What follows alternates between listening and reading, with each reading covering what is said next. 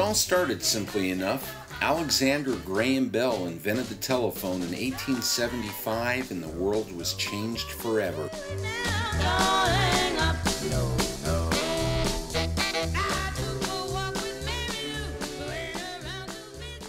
Did Bell have the vision to see that by the 21st century the cables would be cut and more than 4 billion people would be using mobile phones?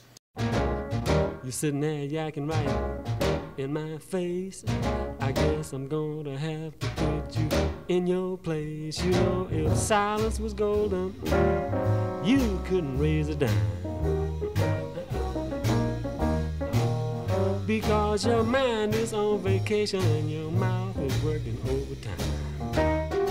Could Bell have known how many people would share the planet in our borough known as the U.S.? We alone have more than 260 million phones in use and counting. You're over laughing when things ain't funny. You're trying to sound like the big money. You know, if talk was criminal, you'd lead a life of crime. Because your mind is on vacation and your mouth is working overtime. Now that so many people have mobile phones, California and other states have new laws in place, all for our safety and the safety of others.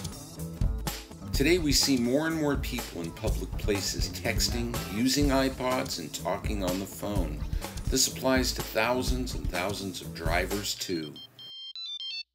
I just got paid. It's Friday night. Feeling real good. Weekend in sight. Got a new phone, a new belt clip attached to my hip. Even got the chip. Now everyone can get in touch with me. I got 700 minutes and weekends free. They even threw in an extra battery so I can keep in touch with my family. But now everybody's all in my mix. I had to go and learn all the cell phone tricks. When somebody tries to talk to me, I just act like I'm talking on the phone, you see. My signal's weak, my battery's dead. It must be true, that's what I said. But if I ever get stranded, I'm never alone. What would I do without my cell phone? Here are a few things you need to know. As of January 2009, it has become illegal to send, read, or write a text message while driving a vehicle in California. It's been illegal to talk on a cell phone without a hands free device while driving a car in California since July 2008, except in an emergency. If you're under the age of 18, it's against the law to use a mobile phone while driving, period. Keep your eyes on the road and your hands on the wheel.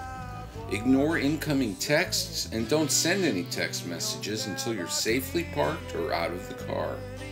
To make things easier, have your phone and Bluetooth headset charged and conveniently located, or your wired headset plugged into your mobile device before you start the journey.